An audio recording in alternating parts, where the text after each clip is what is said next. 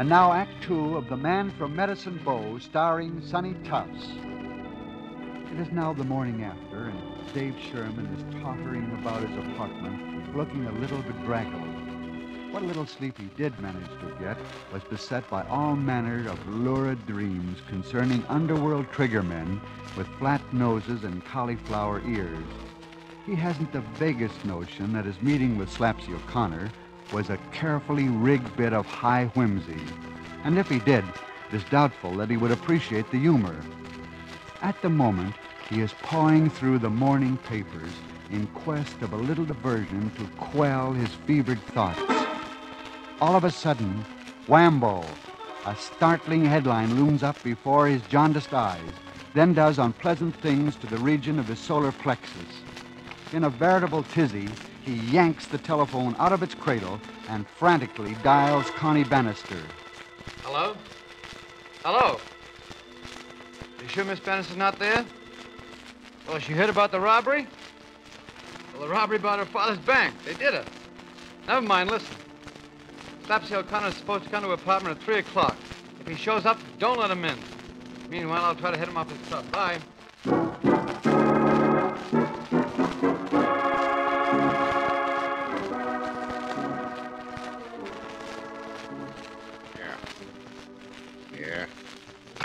And then we've got the. Hey, Slapsy. Slapsy. What do you want, Muggs? Can't you see I'm talking on the phone? Slapsy, there's a guy out here named Sherman, Dave Sherman. He says he knows who pulled that job this morning. What? Oh, some stoolie looking for a cut-in, eh? Yeah. I'll call you back, Lefty. I gotta take care of something. Okay, I'll ditch this bag. You let him in. Okay. Stick around. He may make trouble. Right. Hey, you. Come on in. Sure, thanks. Now, look here, O'Connor. You've got the. Hey, Yeah? well, What? some mistake. Uh, I want to see Slapsy O'Connor. I'm O'Connor. What about it? Don't kid me. Look, I know O'Connor. Miss Bannister and I had dinner with him. One of his malls. Uh, or one of his lady friends here last night. Yeah? Oh, yeah, yeah. You was here last night. I remember now. I seen you with that Park Avenue bunch. The Park Avenue bunch. What? Wait a minute. I get it now. Yeah, I guess I'm wrong, mister. You see, I'm a stranger in town. I guess I'm just learning my way around. So I'll be running along. Just there you are. Now, wait a minute. No, I don't know who you are, but you played a bump card this time. Frisker Muggs. I don't think you fellas would better try that. No, no. Hmm? Turn around.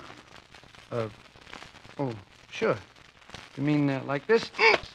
Look out, Muggsy. Look out. He's going to throw you over his head. Look out. Look. You clear away from him or not so I can shoot. Muggs, you fool. Break away from him. Get out. Oh. O'Connor! The gun! All right. Back against the wall. Both of you. Move. Yeah, now.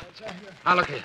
Never Look here, mind. fella. Look. I, uh, Never mind. Do as I say and move fast. Now, where's that dough? Now, oh, we have... Don't give me that. If the money wasn't here, you wouldn't be. Better make up your mind, O'Connor. Hey, he he means it, Slapsy. Uh, It's right over there, Bud. Thanks. Now, look, look, look. You.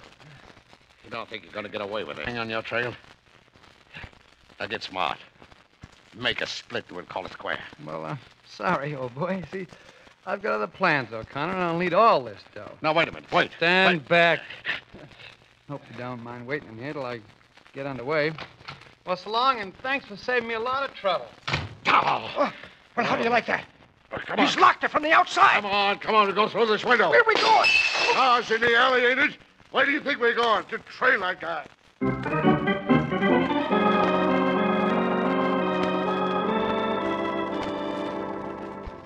Why tip him off now like last night? Well, we could carry it on from now on out. Oh, out. sure, Connie. Say, what's happened to you? Don't tell me you've gone soft for Mr. Wide Open Spaces. Well, it's a dirty trick. Suppose we went to Wyoming. We'd be pretty green ourselves, and we wouldn't expect the people we. Well, that is our friends who try to make fools of us. Ah, Connie's right. Suppose we just use the gag again when he when he just gets here, and then we'll let him in on it. You know, I, I want to see his face when Connie tells me. And that. Hiya, Connie. Oh, Dave, here you are. Uh, hello, Slapsy. Hiya, Margie. Hello. Glad you showed, Wyoming. I thought you might have gotten cold feet. Cold feet. Yeah. I guess you people haven't seen the papers. Here.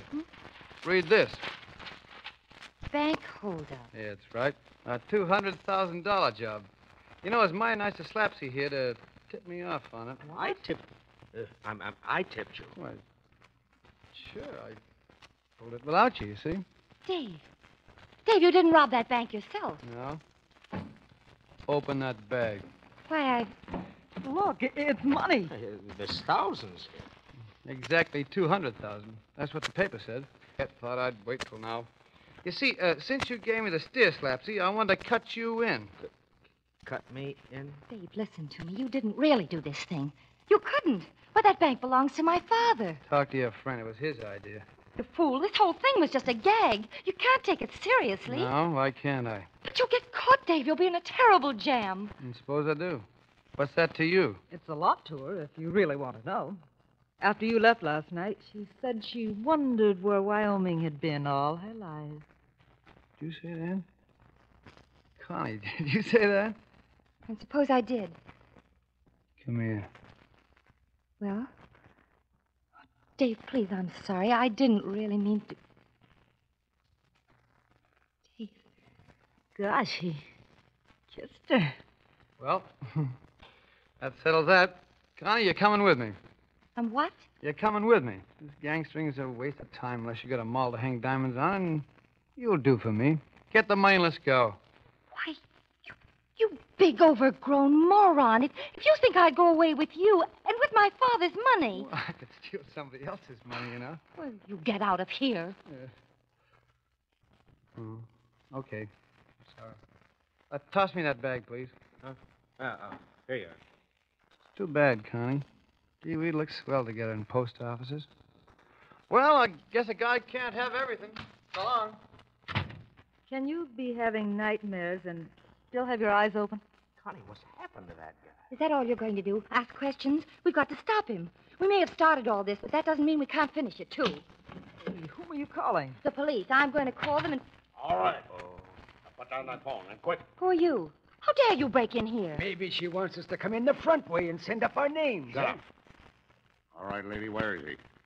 Just tell us quick and there'll be no trouble. Where is who? Hey, Connie, these men must be detectives looking for Sherman. Detectives. Hey, did you get that, Slapsy? Slapsy. Uh, Connie. He's Slapsy O'Connor. Slapsy O. Oh, this is wonderful. Don't you get it? No. Well, we got what? Now, look here, Miss Oh, Slip. this whole thing, it's all a joke. He's simply trying to fool us with our own trick. Oh, it's wonderful. yeah. And to think we almost fell for it.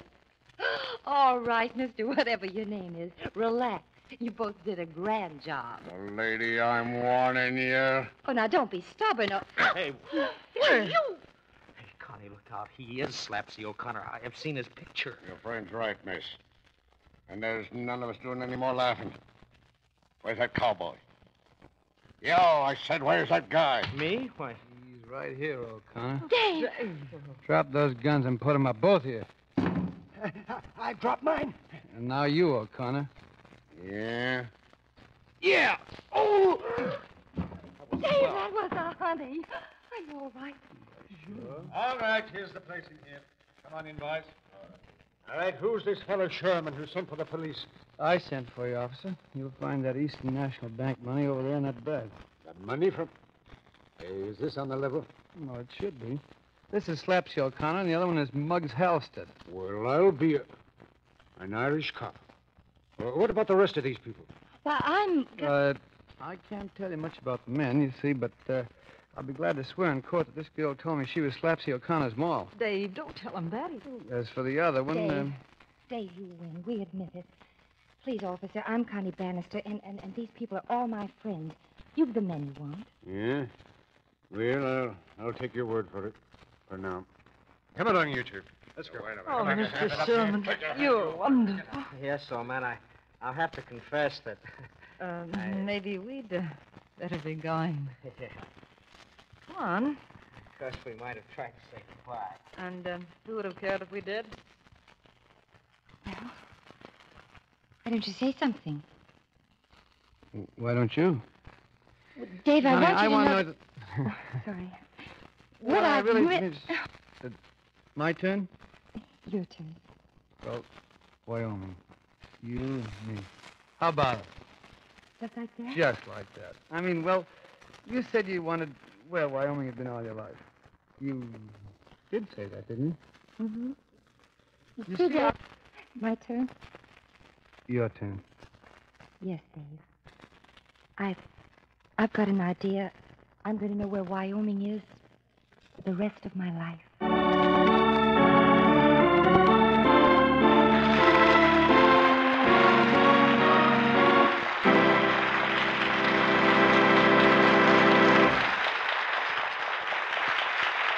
And so the curtain falls in the last act of The Man from Medicine Bow, starring Sonny Tufts. In just a moment, a word from our star, but first, an important message from our government. Nurse anesthetists. Did you know that you may be eligible for appointment in the Army Nurse Corps Reserve in the grade of captain? The requirements are seven years of professional nursing experience, one year practicing anesthesiology, and of course, your certificate from the American Association of Nurse Anesthetists. A captain's base pay is $313.50 monthly plus subsistence allowance. Write for further details today to the Surgeon General, Department of the Army, Washington 25, D.C. Now, once again, our star and our host, C.P. MacGregor. That was doing the expected, and in spades, no less, Sonny, which means giving us a fine performance.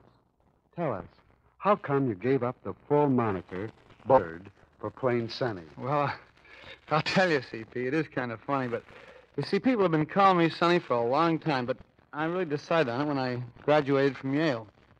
Uh, I wasn't exactly what you might call the uh, Phi Beta Kappa timber, and uh, at commencement, when I walked up to get my diploma, the president of Yale said, uh, "Well, Sonny," just like that, you know, as if he hadn't expected me up there for another ten years.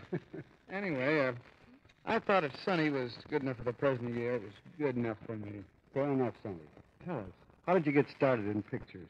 Well, uh, CP, I, I'd been working as master ceremonies in New York nightclubs and hotels and things, and somebody said, why don't you try pictures? So out I came. And uh, with me was this fellow, Jack Darnley, that paved the way. But he actually was no agent, and, but he knew a few people here. And he, he called a friend of a friend of a friend of a friend, one of those things, you know. and uh, Paramount, an appointment was arranged, and Jack... Well, uh, the casting department uh, broke all directives and ordered a test. That's really one for the book. What then, Sonny? Well, they gave me a handful of scripts and asked me to pick a scene that I liked. And the funny part was, I, I, I chose one that looked vaguely familiar and played it all the way through for laughs. And uh, then I found out a little bit later that I'd burlesqued Charles Boyer's most tender love scene with Irene Dunne in Love Affair. A neat trick if you can get away with it. Well, Sonny, thanks again for spending an evening with us. Well, I enjoyed it very much, CP. And, and you know, I seldom miss your program. That's no kidding. And uh, anytime you want me back, I'll be around. I love it. Well, I certainly appreciate that, and I'm going to ask you to join us again real soon. And now, Sonny, ladies and gentlemen, next week we will present another favorite of yours, Michael O'Shea, who will star in a fast action story titled Fighters Always Come Back. This is the story of a great ring champion who was framed in a title bout the long trail back to the rosin and squared circle. I know you'll enjoy every minute of it, so be sure to join us. Till next week, then, this is C.P. MacGregor saying thanks for listening and cheerio from Hollywood.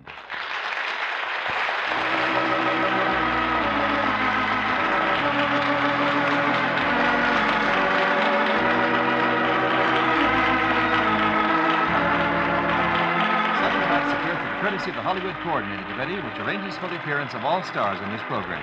The script was by Paul Franklin with the music of Eddie Dunstedter. This program is transcribed in Hollywood for release at this time. Wendell Niles speaking.